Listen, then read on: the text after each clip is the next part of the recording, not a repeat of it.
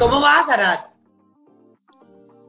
Curioso, muy contento, eh, a la vez eh, feliz de haber retomado nuevamente el trono, trabajando, escribiendo lo que, lo que va a venir siendo mi, mi, nuevo, mi nueva propuesta de la siguiente semana, de esta semana, pues. Este, comprometido con el público, ¿no? Sobre todo, que, que lo que quieren ver es show, lo que quieren ver es espectáculo, ¿no? Entonces ahora me voy. Los das? Maravilloso, me voy por un personaje maravilloso. Estoy muy contento. Ay, qué lindo. Oye, vi el de Luis Miguel. Oye, muy bien. Gracias. Muchas gracias. Muy bien, muy bien, muy divertido, muy bien. Digo, al final del día pues, tienes toda la experiencia haciendo esto, pero digo, aunque tengas la experiencia y demás, siempre da como nerviosito, ¿no? Me imagino que siempre te da esos nervios antes de, entrar al, stage y poder pues demostrar tu talento. O sea, ¿cómo te preparaste para, para, para el papel de Luis Miguel? Mira, lo, lo, lo, que nos sucede a nosotros los actores es que si no hay esta especie de adrenalina, no funcionan las cosas. Entonces yo sí me pongo nervioso sobre todo porque pues son performances que yo, o sea, he armado, ¿no? Digo, junto con la producción, pero tengo la carta libre para poder hacer lo que, lo que, lo que, prácticamente lo que quiera.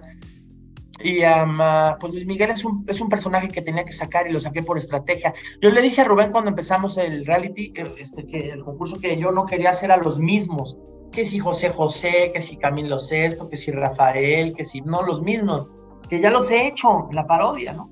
Entonces por eso el primero hice a Cristian Nodal. No gustó, o a muchos no les gustó, a muchos sí les gustó, pero lo hice. Y eso es lo importante, y eso es lo que hacíamos siempre en la parodia, hacerlo.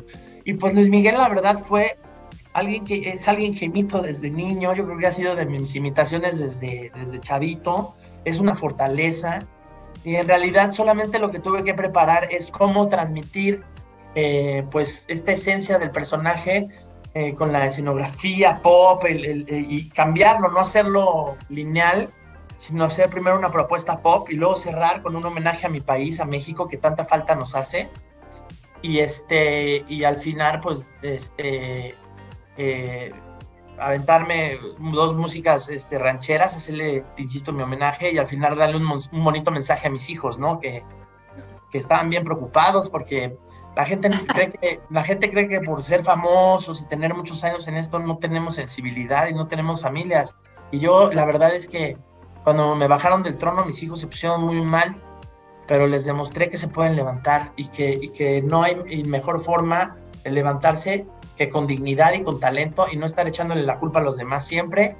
Y, por eso saqué a Luis Miguel, ¿no? Porque es una fortaleza, no me podía quedar yo ahí en el suelo. Entonces, eh, funcionó la estrategia. Este es un juego de estrategias, no nada más de, que vengo y canto 20 mil voces. Igual, por más bien que hagas eh, un personaje o una imitación, igual no a todo mundo le va a caer perfecto, ¿me entiendes? O sea, siempre a ver gente que le va a gustar, gente que no, pero en su mayoría y todo lo que he leído, todo lo que he visto, fue un éxito, Luis Miguel. Y bueno, tú eres un crack también haciendo lo que haces. Y seguramente el siguiente personaje también va a estar buenísimo, más con los detalles que me estás dando. Sí, sin duda. O sea, la verdad es que me estoy divirtiendo muchísimo. O sea, desde que me bajaron del trono fue así de, ¿qué onda? Pues, ¿cómo? Si yo soy el mero macizo, ¿no? ¿Cómo, por qué o qué? Pero sabes que estuvo bien porque la verdad es que sí me picó. Entonces me picó, ya yo me crezco al castigo, me gusta estar trabajando sobre presión. Yo trabajo sobre presión todo el tiempo y, y, si no hay esa presión, de pronto como que entras en una zona de confort y dices, bueno, el que sigue, pues soy Alan de la Torre, ¿no? No pierdo nada. Pero no, o sea, sí estoy compitiendo, tengo ganas de ganar, no entré aquí nada más para hacerle a la, al numerito, sino para realmente competir. Y estoy seguro que el personaje que viene es muy poderoso y, va a dar mucho de qué hablar. Insisto, yo sé que esto es un concurso, pero yo no tengo nada que perder y mucho que darle al público. Entonces, este, aquí estoy, estoy contento, estoy haciendo lo que me gusta, estoy en un programa increíble donde me divierto mucho y pues muy agradecidos con todos por haberme considerado.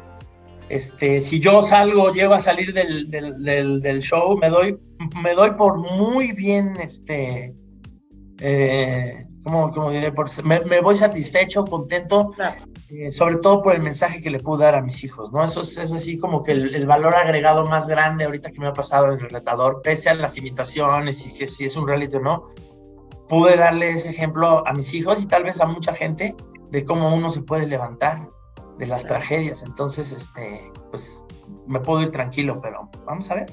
Así es, Arad. Bueno, pues yo creo que ya tienes todo. Por aquí te apoyamos, somos tus fans. Así que todo lo mejor para este nuevo personaje.